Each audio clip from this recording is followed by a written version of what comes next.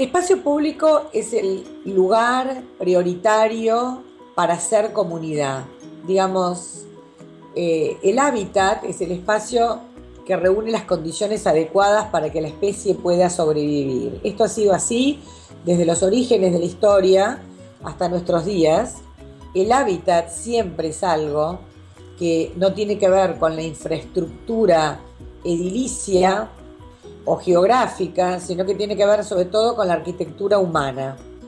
Es decir, generar condiciones para el encuentro es el motivo fundamental del espacio público. Generar la Pena está trabajando con un sentido de, la cultura que mucho tiene que ver con habitar los espacios públicos como el corazón de lo humano.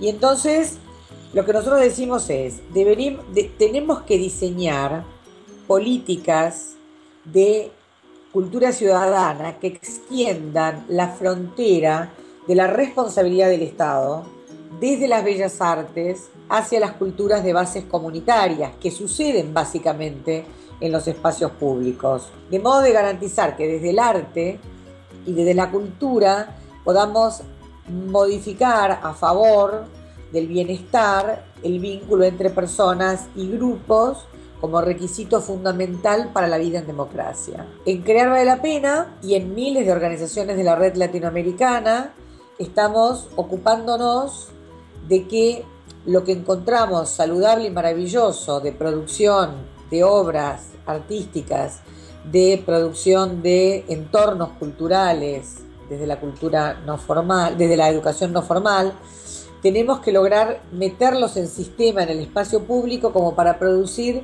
realidades parecidas a las que podemos apreciar hoy en la ciudad de Medellín. Todos somos parte en este momento de una plataforma de red de redes que opera desde Centroamérica, Guatemala, Nicaragua, El Salvador, Costa Rica, hasta el sur de Argentina y Chile.